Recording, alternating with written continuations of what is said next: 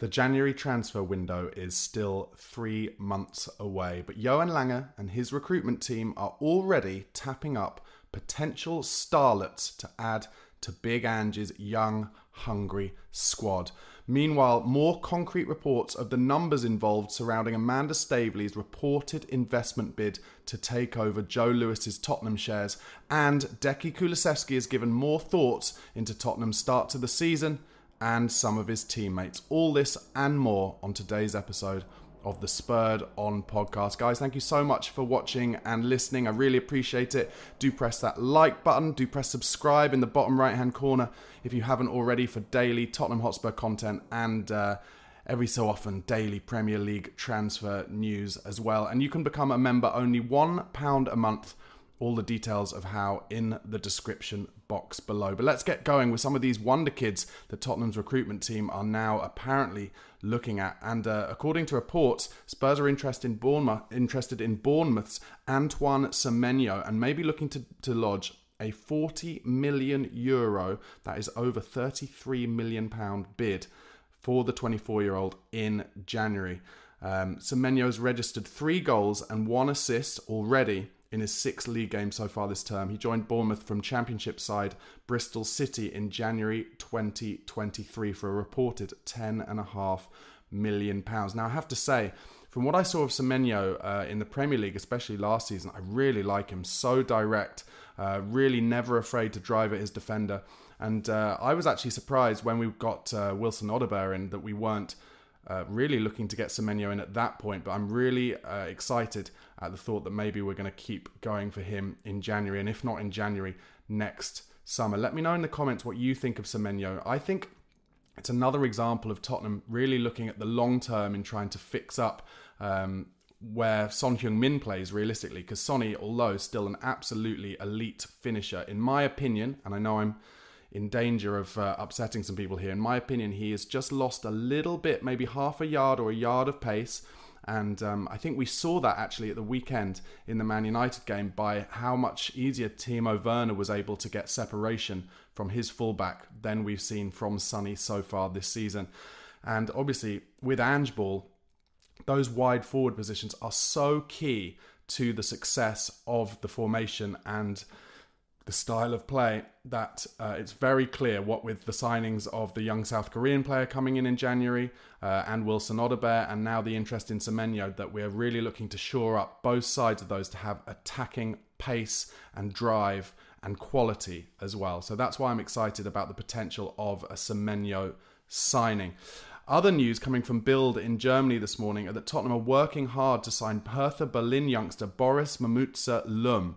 He's 17 years old. He came up through the ranks in the German side's U system and he made his debut for Hertha Berlin against Elversberg at the weekend. Bild say he became Hertha Berlin's youngest ever player at just 16 years and 363 days. No wonder then that Tottenham Hotspur, with their new strategy, certainly new in the last year or so, since Johan Lange's come in anyway, to really try and pick up some of the world's most exciting young talent, or probably more realistically, the world's most exciting young talent that Chelsea aren't trying to hoover up first. Uh, the Germany international, uh, under 18 international, sorry, can operate as a defensive midfielder in central midfield uh, as a more box to box player and also as a right back. Does that um, sound familiar in terms of players that Ange likes to get in? He wants utility players. He wants players who can play in many different positions across the pitch. That enables him to have a, tight squad of players like Archie Gray, who can fill in in lots of different positions. So it's no surprise that he's interested in, Lum. Uh, Tottenham apparently been interested in this player for a long time, uh, but also fighting against them to get him in, and this may be a problem. Manchester City, Manchester United, Bayern Munich, Bayer Leverkusen, Ajax, Red Bull Salzburg, and Barcelona. However, Tottenham trying to get ahead of the game because apparently at their intervention, uh, invitation, sorry, not intervention, at Tottenham's invitation, Lum has visited their training, phys- training facilities and has attended three Spurs home games. So that does suggest that Tottenham have uh, definitely a concrete interest. And pa- uh, uh one other possible uh, benefit for Spurs is that he is represented by CAA Stella. And as we know, uh, any player who is represented by CAA Base or CAA Stella or any of the CAA uh, agents uh, agencies, they uh, have a really good uh, reputation and also a good relationship with Tottenham Hotspur. So this could be one that actually happens. You never know, and it definitely does fit in with Tottenham's new transfer strategy over the last year or so. On to those reports of the numbers involved in Amanda Staveley's potential move to invest in Tottenham Hotspur. Uh, apparently, those talks have advanced over the past week. Staveley wants a 25% uh, stake in the club, which would apparently bring in a fee of above 500 million pounds. Staveley um, it's it's just under double what Staveley and her husband invested in Newcastle United. But of course, the most important thing that they did for Newcastle was really put together the consortium uh, alongside the Public Investment Fund of Saudi Arabia to allow that buyout of Newcastle. Uh, and now, when they since they've sold their shares in Newcastle, they're looking to invest in another Premier League club, and Tottenham are at the top of their list. Daniel Levy apparently trying to sell Joe Lewis's shares of the club, which stand at seventy percent of the entire ownership, which would mean that uh, Amanda Staveley's 20 to 25% would not only be shared between her and her partner, which is Mehrdad Ghodoussi, he was also involved uh, in the buying of Newcastle, but they would both own apparently 10 to 12.5% each, with then the door being opened for other Saudi investors down the line who presumably Staveley and her partner would bring in as contacts to the club to try and buy up more shares. Let me know in the comments, guys. How do you feel about that? Do you want Saudi investment in the club? Do you want Amanda Staveley in? What do you think the benefits are over and above the obvious, which is Daniel Levy has been very open about wanting more capital in the club, more um, standing money with which to be able to pay for uh, higher transfer fees and higher wages and more of the infrastructure plans that they've got, including the hotels and the like. But what else can Staveley bring in? Is there anything that maybe you would envisage her trying to take some of the football side over from Daniel Levy, maybe in the same way as Sir Jim Ratcliffe has done at Manchester United? And if so, is that something that you would want? I personally am not so sure about having Saudi investment, uh, sports washing, and the like. I wouldn't want to be involved in anything where, in reality, it was the Public Investment Fund of Saudi, but they weren't allowed to say it was because they're not allowed to invest in another uh, British club. So they're using then kind of proxy investors, similar to what it looked like um, the Qataris were trying to do uh, when they uh, were looking to buy Manchester United before Ineos and Jim Ratcliffe won that battle. So, yeah, let me know in the comments what you think of that. Could be an interesting time, but uh, I have to say, from my point of view, I have some Newcastle fan friends who I, um, you know, I was quite vehement in my disappointment that Newcastle sold out to Saudis. So for me then to be excited about the possibility of Tottenham selling out to the Saudis, I'm not sure. But of course, what I would say is I do want us to have the best tools possible to try and push on and win titles. So it's a very difficult one. It's quite t- I'm quite torn about it, but that's the reality of modern football. There is an element of if you can't beat them, join them, but also I do want my club to be run in a sustainable and also ethical way. Uh, just some stats here based on the uh, on Tottenham's start to the season. They've won Spurs have won possession in the attacking third at least 11 more times this season than any other team in Europe's top 5 leagues with 50. That shows that Ange Ball is working. I think the negativity around Ange Ball needs to wear off now. There really is nothing about it that isn't working as far as I'm concerned. Um, also, no player has created more chances from open play so far this season in the Premier League than Dejan Kulusevski. Uh, and that leads me nicely on to Kulusevski's some of his uh, later quotes about the win at Old Trafford. He said, The feeling you have now is the one you want. That's why you play football. We showed how good we are. He was also asked about Dominic Solanke. He said he's impressed me a lot with his work rate, especially. He's a great guy and he's making a lot of things much easier for us. And when he scores goals, that's the best thing. Completely agree. I think Solanke's hold up play has been absolutely incredible, and now he's adding goals to the equation. Fox in the box in the right place when the knockdowns come or when the goalkeepers are making mistakes.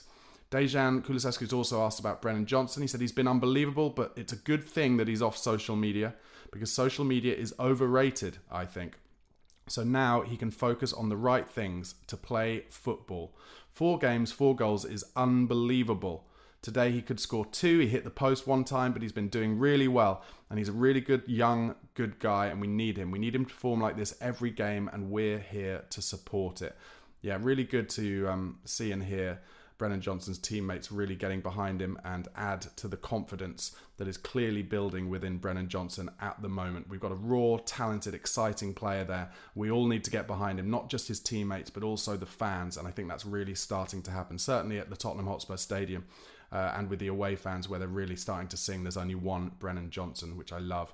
Uh, he was also asked about Brennan Johnson's price tag potentially weighing him down. He said, I think that can weigh down on you as a player because millions of people have opinions on you every day. But the important thing is to not listen to anyone and just be with your family and trust in yourself and work hard. Then nothing can stop you. I think every player goes through tough times and you just have to go through it because you need to learn.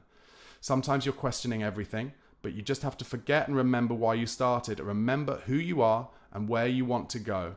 That's what I'm doing right now. So, talked a little bit, haven't we, about Kulusevski having a little touch of the Zlatan Ibrahimovic about him in the way that he talks and the confidence that he brings to his own game. And I'm loving hearing that from Deki as he's been put in what he describes as his correct position of attacking central midfield, he's really growing not only as a player on the pitch, pretty much the best player in the Premier League at the moment, I'd say, along with maybe Cole Palmer uh, and a couple of others. Let me know in the comments who you think are doing the best in the Premier League at the moment. But the way he talks, he's really becoming a leader in the changing room, I think, and uh, very exciting to see. I can't wait to see him play again. My guess is that'll be against Brighton on Sunday. Um, because he'll probably not start against Ferencvaros uh, tomorrow night, but maybe he'll get some minutes late on in the game. Certainly, if we need to uh, pull a result out of the bag. Uh, four Spurs players have made it into Alan Shearer's team of the week after the impressive 3 0 win away at Old Trafford. They are uh, Micky van de Ven, obviously, after that incredible assist, Brennan Johnson, Deki Kulusevski, and James Maddison. So good to see the uh, attacking central midfield partnerships of Maddison and Kulusevski getting in there. People really starting to see how good those two players are together and how impressive that partnership is uh, growing. I love it. Uh, Harry Kane was asked whether he watched Spurs' 3 0 demolition of Manchester United. He said the following He said, Yeah, I did watch the game yesterday. I thought it was a really great game from Spurs, probably one of the best I've seen in a while. I really enjoyed that one. Even before the sending off, I thought Spurs were really dominant. It was great to watch them get a good victory. Come on, Harry, back you come, mate, in the summer. Go and win the Champions League and the Bundesliga and the Cup there this season, and then come back to Spurs uh, Tottenham, maybe Staveley can provide the money it'll take and he can play as the nine. Although, frankly, that's a difficult one, isn't it? Because Dominic Solanke is in the nine now. He's not as good a player all round as Harry Kane, but he is pressing in a far more Ange Postecoglou type way. Let me know in the comments below. Would you take Harry Kane back at this moment? Uh, by which I mean, you know, in the summer, uh, or would you stick with Solanke on the basis that his pressing is so elite and he's really getting the Ange ball system uh, flowing from the front. Uh, just some news on Wilson Odobert's injury. Apparently, he'll be out for another six weeks with his hamstring injury. That's according to Paul O'Keefe. So that what is that makes probably middle of November. The early reports I heard, uh, having read in L'Equipe, was that it was going to be middle of October. So that's about a month longer than expected. That's a bit disappointing. Uh, and final bit of Spurs news for today. Uh, I'm sure you saw it, but if not, Atletico Madrid striker Julian Alvarez, the ex Manchester City player, he was asked uh, who the three toughest defenders he's ever faced are, and on it, of course, he named Cuti Romero, his teammate in the Argentinian national side, and an absolute, what an absolute nightmare Cuti Romero is to face for any striker whatsoever. Double hard, reads the game incredibly well, and I think the best passing centre back in world football today. Some of those balls that he plays in between the lines into the midfielders where it looks like there's no gap and he finds a pinpoint gap and he's so consistent with it. We're very fortunate to have him. And even though all the leaks are that Real Madrid are interested in him and trying to get in his head, I hope he signs a really long term, huge money deal at Tottenham to lead us in to trophy winning times. Guys, thank you so much for watching and listening. Please do uh, press that like button, press subscribe in the bottom right hand corner for daily Tottenham Hotspur content and listen to this on the audio platforms as well. Go to Apple Podcasts or Spotify, type in the Spurred On podcast, and you can listen to me there when you're running or driving for my daily content. Have a great rest of your day. Come on, you Spurs.